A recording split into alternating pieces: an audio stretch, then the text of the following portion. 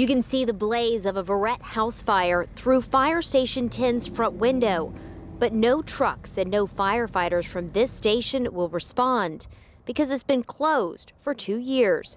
Elaine Johnson and her neighbors said this is what they've been fearing. Since they took it from here, because really it should be here. St. Bernard Fire Chief Thomas Stone said there was a 10-minute window Sunday between the first call for help at 8:59 p.m.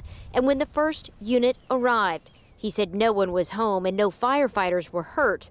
A former St. Bernard firefighter who did not want to be identified warned resources are stretched too thin. The people want things fixed and the firemen are dying to get things fixed, but they just they have no one to help them. Fire Station 10 is one of two firehouses in the parish that are now closed.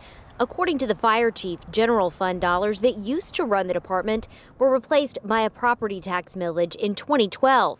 And he says by 2018, the department couldn't afford to keep all of its stations open. No stations, you know, it was an operational decision and a reorganization. Stone plans to ask voters in St. Bernard to renew the millage next year before it expires in 2022. But the fire chief says he won't ask for a tax increase because he says taxpayers can't afford it. Our insurance rating improved to a class two parish wide. That's probably the best parish wide fire insurance rating in the state of Louisiana.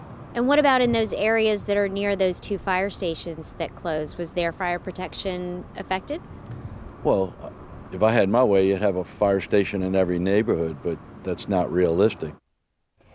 The fire chief also told me that the fire station 2 in Arabi has two other firehouses very close by. He said that one will likely never reopen. I also talked to the newly elected council rep for the district in the Verret's fire station area. That's Fred Everhart. He said reopening station 10 in Verret is, quote, a must do. And he says he'll work with the parish to see if money can be moved from its budget to supplement the fire department. Back to you.